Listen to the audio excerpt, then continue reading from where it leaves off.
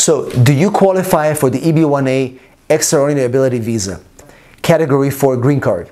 Now, in this video, I'll talk about who is eligible and why you should consider the EB1A, specifically since UCIS earlier in the year specifically transferring their cases to the EB1A category if they're eligible because there was a surplus of visas and they were going to be processing these cases really, really fast. So, once again, if you're interested in this topic, you want to know if you qualify and how to do it, I'll see you on the other side.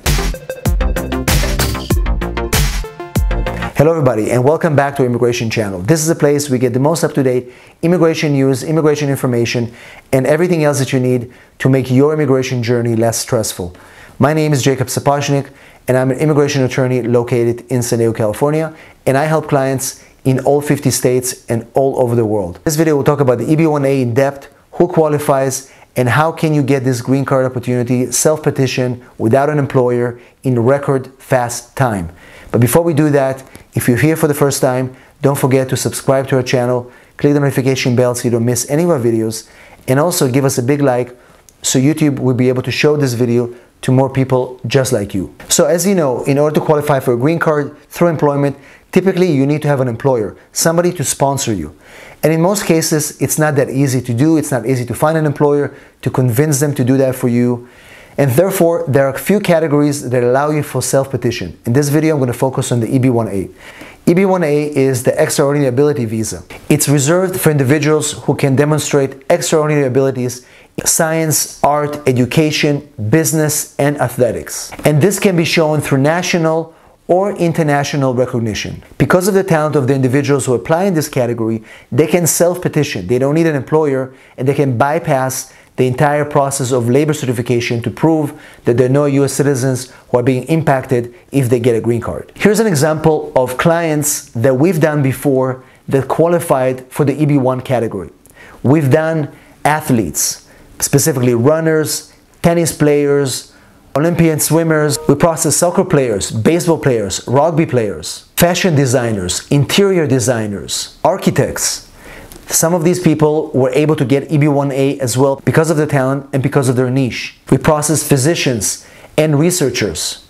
We process startup founders, specifically in software and in biotech, music producers, music composers, actors, musicians, and singers. They all qualified for EB1A category in their niche. Number one, evidence of receipt of national or international recognized prizes. Number two, evidence in an association that demands outstanding excellence, that demands outstanding achievement from their members. Number three, evidence of published materials about you in major trade or professional publications.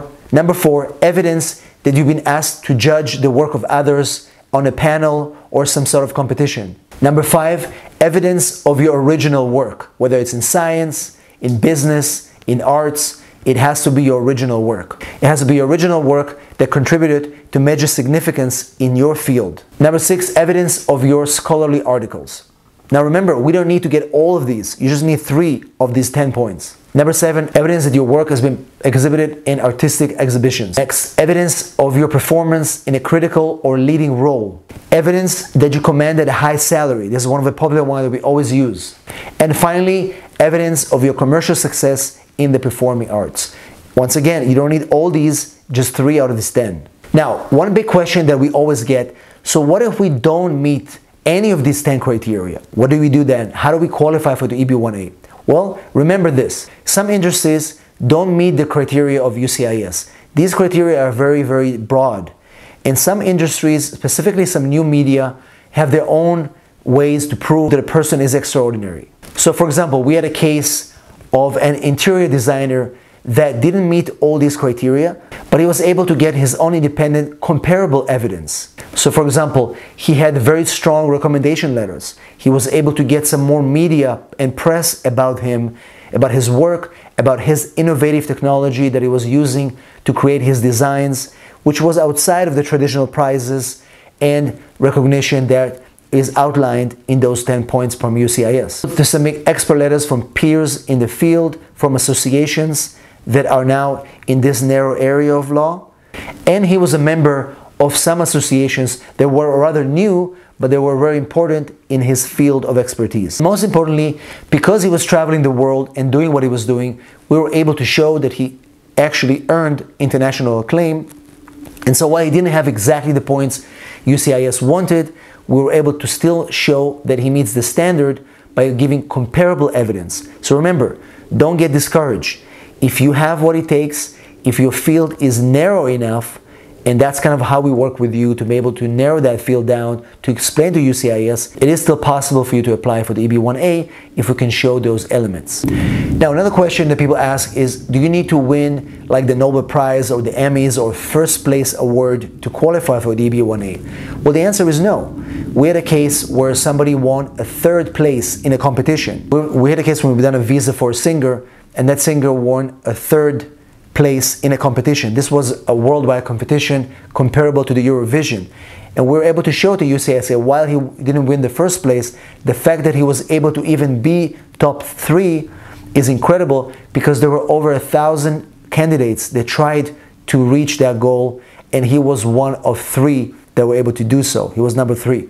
And there was, it was a large enough competition to show to the UCIS that even though he won third place, he was still extraordinary compared to others in that space. Now remember, one of the key elements to success of EB1A is to define the field of your extraordinary ability. What is actually that field?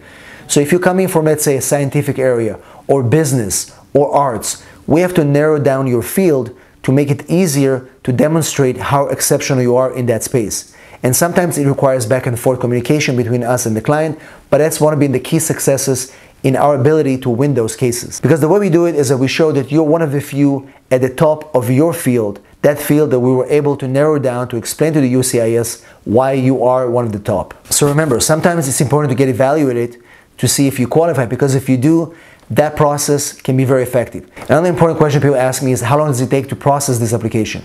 So typically what we do is we file the I-140, which is the immigrant petition. It takes about a couple of months to prepare it. Letters of recommendation, the articles about you, all the other supporting documents, your, your full detailed resume, our legal brief. And once the case is filed, you can also use premium processing, where you, you can pay an additional fee to the U.S. Immigration, and you can and you can get your case processed in about two weeks, which is really really fast compared to other applications that can take months and months to process.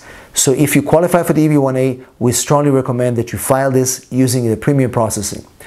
If you have a spouse and children under 21, they can also come with you and they're going to be able to get the green cards with you because spouse and children can join you as part of the application as well. Now, it's really important to know that when you apply for the EB1A, we have to prove to the United States government that you're going to be continuing to work in your field. So if you're coming from the arts or from science or from entrepreneurship, you have to continue to do that while you go through the process of getting your green card and when you get your green card. It's really important to understand that because it's a self-petition.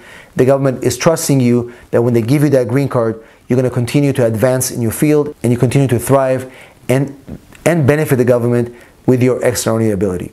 Now, once again, if you want to be evaluated to see if you qualify for the EB1A, the EB1A category is now very, very popular. UCIS still encourages applicants to transfer their petitions if they qualify, and also for new applicants that are coming from overseas, if they meet the requirements, there are enough visas to qualify for the EB1A visa. This category is current in the visa bulletin. So if you qualify for the EB1A or you want to be able to determine if you qualify, please text me 619 483 4549 and let's determine together if you meet the requirements of EB1A and has what it takes to get the green card as a self-petitioner.